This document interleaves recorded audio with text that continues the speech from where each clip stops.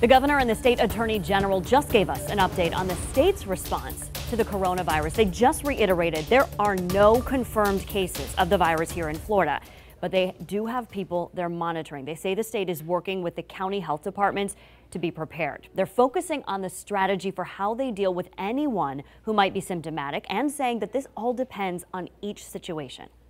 If there are individual cases or linked cases, our strategy will to be sure that these individuals first have the medical care that they need and that they are isolated so they cannot transmit this virus to others.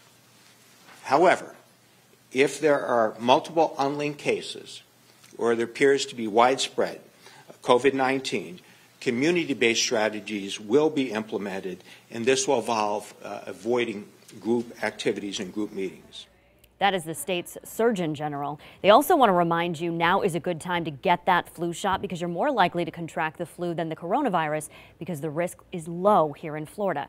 Both the governor and the Surgeon General stress the state will be using the health department's website to keep you updated on what's happening at the state level.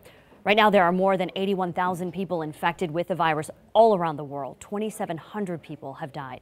With the illness pushing, pushing its way into a sixth continent, several countries are now taking some tough steps to contain this deadly outbreak. Saudi Arabia cut travel to Islam's holiest sites over fears about a viral epidemic just months ahead of the annual pilgrimage. South Korea has toughened penalties for those breaking quarantines, and airports in Latin America are looking for signs of sick passengers. Argentina has been taking temperatures at some of the arrivals. Peru has specialists on round the clock shifts at its biggest airport, and El Salvador added bans for travelers from Italy and South Korea. In Japan, schools will be closed for just about a month to help control the spread of that virus. And a new case in California may be the first in the U.S. that is not linked to foreign travel.